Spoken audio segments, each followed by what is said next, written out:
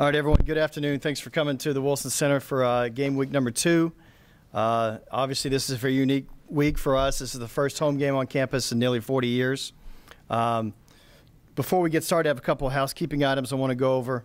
Before the game on Saturday at approximately 2 o'clock in the press box, uh, Commissioner Mike Aresco from the American Athletic Conference will be on hand to address uh, members of the media and then take any questions. Should last about 10 to 15 minutes tops. And again, that'll be at 2 o'clock in the press box. Uh, last week, I told you I'd have your credentials and parking information today. Um, we're going to move that to Thursday simply because we have a big event on Thursday planned really for each of you guys. Uh, Josh is going to be passing out uh, a release here. It's called uh, basically it's Press Box 101, and, and we're going to acclimate each of you to where you park, where you enter, where you eat, where you get to the press box, where you get to the post-game locker room, how you get on the field, and, and how you get to the photo workroom. Uh, we'll go through that at 3 o'clock this Thursday. We're also going to have a number of speakers on hand. Mr. Yulman, the namesake for the stadium, will be there. Uh, Rick Dickson, our athletic director. Yvette Jones, and finally John Lange from Game Day, our Game Day operations manager. We're going to go over uh, some final briefings. Uh, do we want to get to the just to you guys and to the public? Really, it's one of our last public opportunities to, to get that information out. So we want to do so on Thursday. So information will be for you guys and the public. So We'll hand out your credentials, your parking information, and your parking maps at that time. If you got, it'll be at 3 o'clock.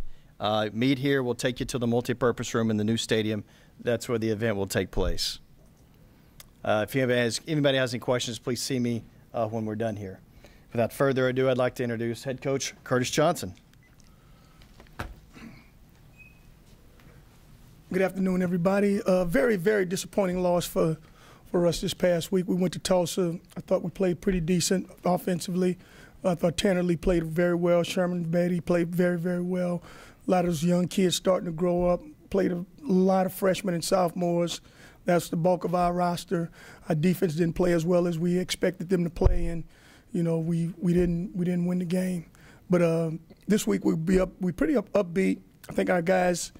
What we have to do now is just distinguish between the event and the game. You know, this mean nothing. This game will mean hardly anything to us if we don't win this game. You know, we got to win this game, not just to go out there and play because we opened up a new stadium and we we playing in it.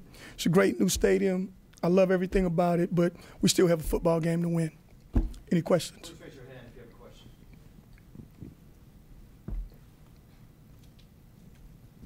Uh, the triple option is obviously something that, that comes up all the time when you, when you hear about Georgia Tech.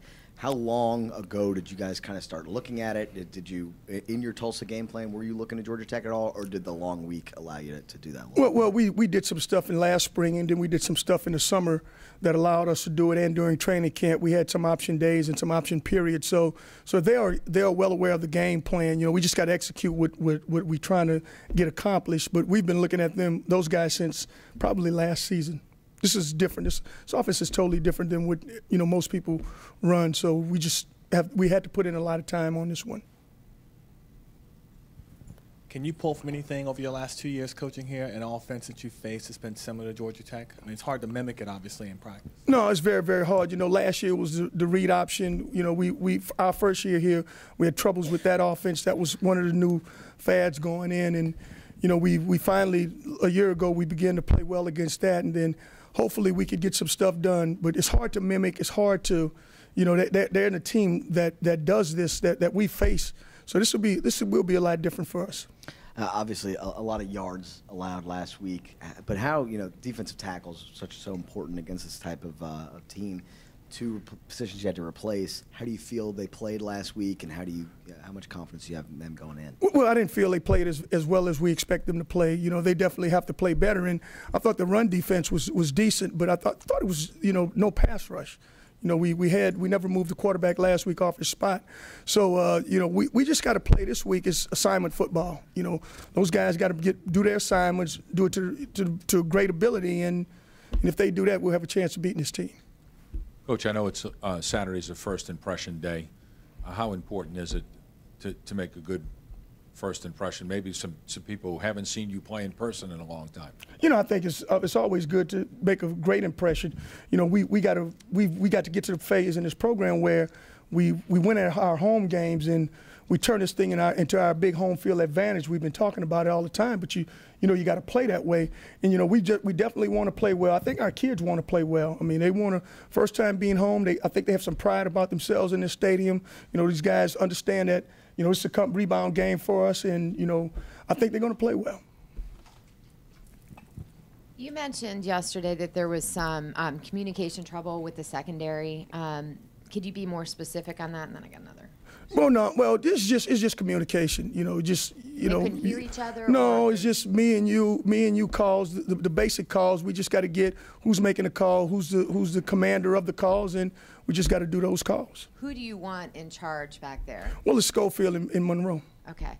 And then um, with the stadium, give me something specific that you like about the stadium. And then um, if there's, uh, if you had to describe it, I, I've had a lot of people ask me, well, what is it like? How would you describe it? Well, I, I, I love the intimacy about the stadium, the close. You know, if you're if you're accustomed to playing in front of crowds, and you can see the intimacy, the crowds are right on you. You know, you can see the fans, the, the fans right there on you, and that's what this this whole thing is all about: is to get as many people to see our kids play. And I, I think that's the number one best thing about it. I think the fields are great. I mean, it's a hundred yard field, but but they're great. You know, where the location. I, I think I love the location. Uptown, different from downtown, different from other places. It's, it's a perfect spot. But just being so intimate is just everybody on top of each other. Everybody's getting yelling, screaming, and you know, cheering us on to a victory. You mentioned Leonard Davis and Brandon LeBeau. Obviously, didn't have one a great game at Tulsa. Have you guys considered moving Darion Monroe back full time to that safety position, or is it too early to do anything? Well, I like that? think those guys first time playing the, the amount of football that they played, and it was just unfortunate that they played on the road. Just unfortunate they played at that against that team. But you know, I think we're going to continue to try. We got some other guys that we can, some other moves we can make. But you know, you you, you want to make a move, and then Nixon's out right now, so you just can't. You know, you just kind of kind of figure out the best situation, especially for this week, because this is a little bit different. It's a little bit different beast, I'd call it. Coach, two things. I know you had different uh, folks kicking off on Thursday. Will you settle on one, or will that still be kind of a thing that you'll do there? And two, um, how big, in your opinion, was that touchdown by them right before the half when you had a 14-point lead? Yeah, you know what I, I would say is Ade is Ade is the kicker, but he, he he had a groin issue. So then we put the other kid in, Peter in. But you know, so we, as, as long if Ade is healthy, he'll be our kicker. He- He'll kick off for us. Excuse me. You know, I think it was the momentum changer. You know, Tanner had a, a young mistake. You know, he called a he called a run and a pass. He called the run play and then a pass with the run. He got a little confused with what was coming in, and uh, you know we he, he took he had the sack fumble. It was more of the line was doing a run and the receivers was doing a pass. You know he just he just kind of spaced out on that one. That was one of those young guy mistakes. So that was the momentum changer. You would you would hope that your defense stop them where they were you know, punt or don't score, not on a long touchdown right before the half. And I thought that was the momentum changer of the game, you know, the sack fumble and then the long touchdown because we had two guys right there. You know, both of those guys could have made that play. It, was, it wasn't a very hard play to make. Any more questions?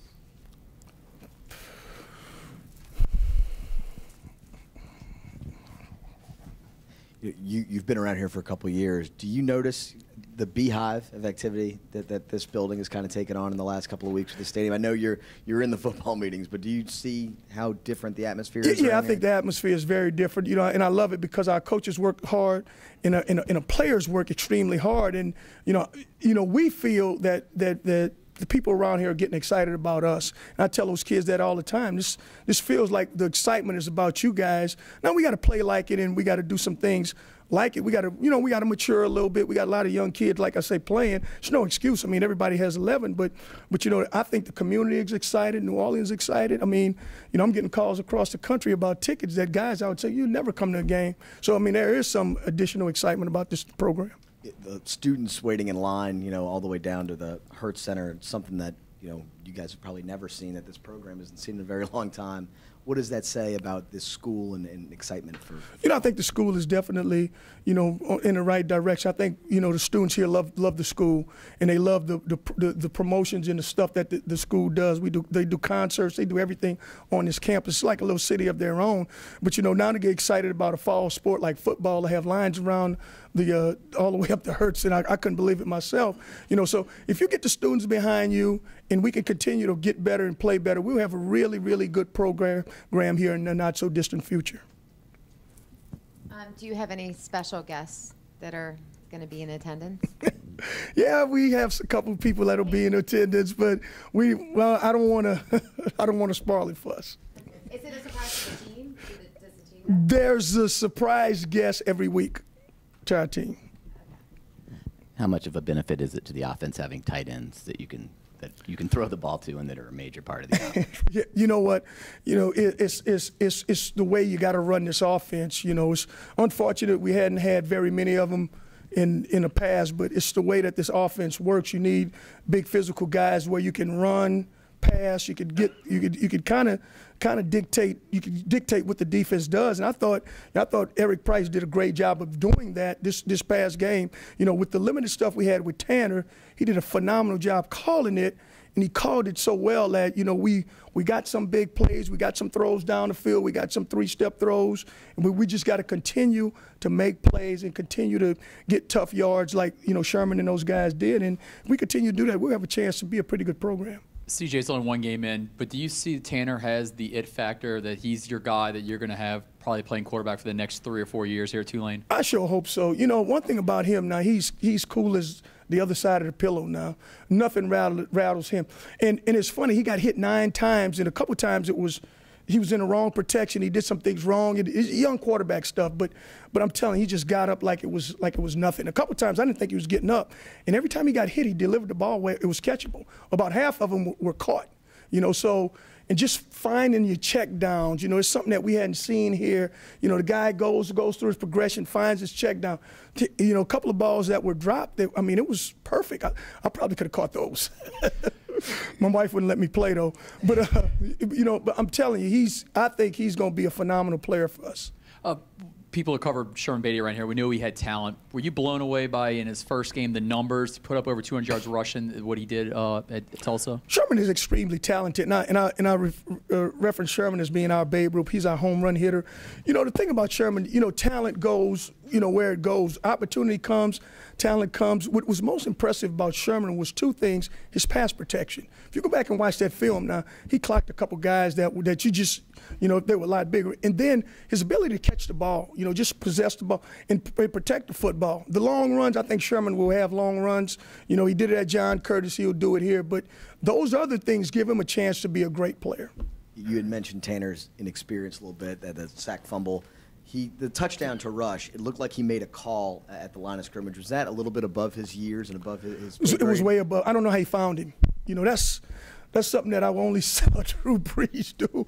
You know, find a guy when they, the, you know, the defense was they were trying to come, but they were coming with you know six man pressure, and they hit him on that play, and he found a guy who was all the way. He went through his progression so fast, he must have processed it. He saw him making the me you call because the DBs were on the same level, and I couldn't believe he found Rush. He found him, and it was it was a great play. It's way behind his years. That, that's that's year two or three in the program.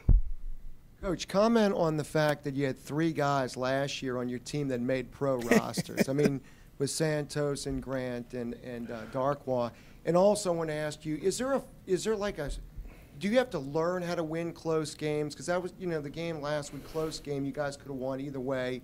Talk about that, and also about the uh, how proud you are of those three guys who made NFL rosters. Extremely proud. Extremely. I don't know if this is true. A, AP writer called me last night. He said Darkwa, not excuse me, not Darkwa. Uh, Cairo's the first Brazilian player to play in NFL. I didn't. I didn't. Regular season, yeah. I've, I've never. I, I, I didn't know that. That's a that's a big time right there. Now, just just knowing Cairo, his demeanor, how he is. I told the guy he's a people person. You love him.